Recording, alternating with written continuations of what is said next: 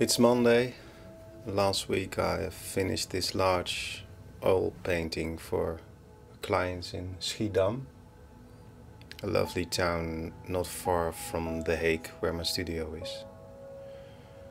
And uh, this week will be a week of uh, preparing new commissioned work. And, and the funny thing is that uh, I want to put a weekly video on my YouTube channel. Um, and I know that a video about preparing work uh, should not be that interesting for a viewer. It's only about sketching, making photographs, discussions with clients about the work. Well, that could be quite interesting, but not everyone wants to be on my video, and I can imagine that. So, um, the video must be uh, a video about an artist making art, uh, telling about his thoughts, questions, answers, um, but not about preparing a work, not not the, the, the whole video. So putting a weekly video on, on, on my channel keeps me working every week on a new work. Actually, the, the watercolor I made in the previous video, the, the watercolor from the square with the long blue shadows, um, was made with this same thought that the video uh, could not be interesting without making a new work. Uh, and I'm I'm lucky with this uh, watercolor. The classic way to to to put light in a watercolor is to um, let the paper show the bright white color. That's the brightest color on, in the watercolor.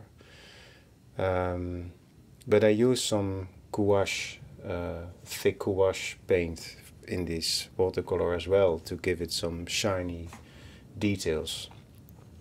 And there are people sometimes complaining about that. Uh, well, you know, you are a watercolor painting, but you don't use watercolor everywhere in, in, in your work. And for me, that's not an issue. It's about the result and um, working with the bright white of the paper everywhere is is it's only a method, and when a method is uh, sometimes not that practical, I think you should find another method to reach the result that's the work or the subject is asking from you. And then a thick gouache or even acrylic paint somewhere really uh, does its work. Um, I noticed that always when I'm painting uh, bicycles, bicycles are really hard to paint and they're always shiny and bright. And when you want to make all those reflections with the white of the paper, uh, you can do it, but it takes a lot of time and it takes a lot of work. And then in the result, you will see a fast. Um, fast some kind of flow everywhere in the in the handwriting of the painter and there where the bicycles are there it goes slower and and um, there's another energy in, in, in, in the whole work. And I don't like that. So I think then you really should take another paint to put the bicycles over the last layer of the of the watercolor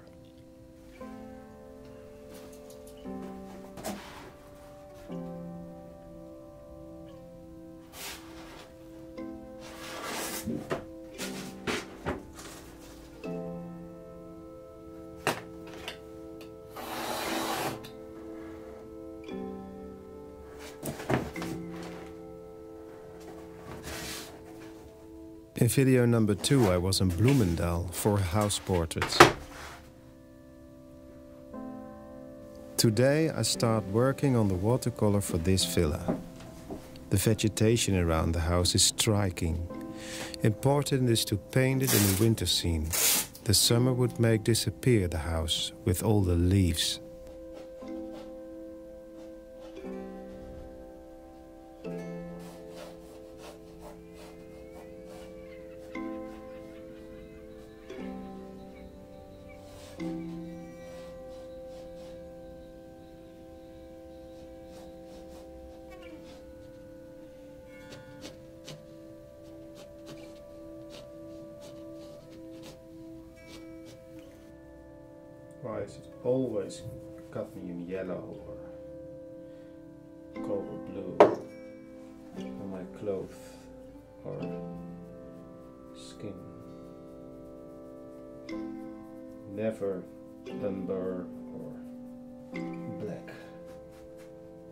most poisoned, strong colors. I really don't know where I got it. The best way to get it, oh, it's on my other finger too. The best way to clean it is with lin oil, linseed oil. This is not going to be a watercolor of a house with trees. It's going to be a watercolor of trees with a house. I'm making the plan. First, the cold blue purple grey of the sky. The warm orange and yellow for the bricks. I keep the whites open in the building. Then the warm colors in the tree trunks. Some details will be done before I put the shadow wash over it. Then they are covered by a transparent layer which will make the details look softer and natural.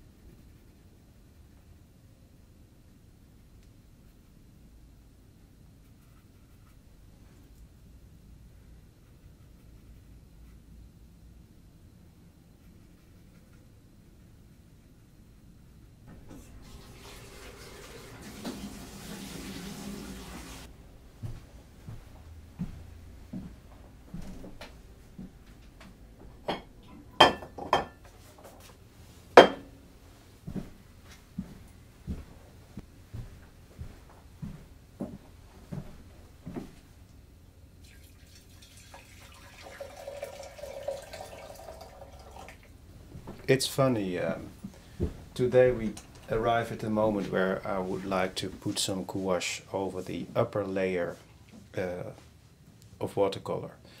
Uh, as you can see, we got plenty of twigs, branches in this garden. Of course, I could um, save them, you know, I could keep all those small twigs open. But what do you get? You will get a slowly painted, correctly watercolor. Um, you lose the speed that you have in the beginning of the work. And for me, uh, speed in the work is one of the most important elements to put life in a watercolor. Uh, the hand must follow the eye, and in this view, you will see that the eye is scanning uh, all the life in this garden with this uh, strong, straight building in, behind all those branches and uh, twigs.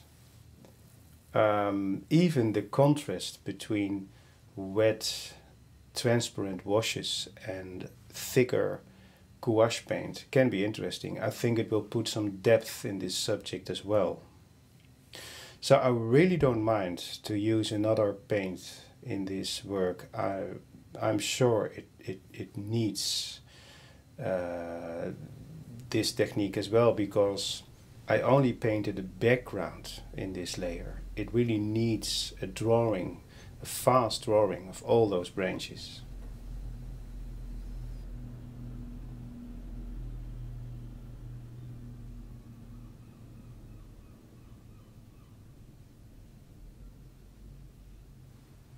Painting the branches over the watercolor brings depth in the work, but the branches must show depth between themselves too. I reach this by using wet and dry paint. Normally the wet paint is brighter, but using gouache it's the opposite. The wet paint shows more of the dark background because of its transparency.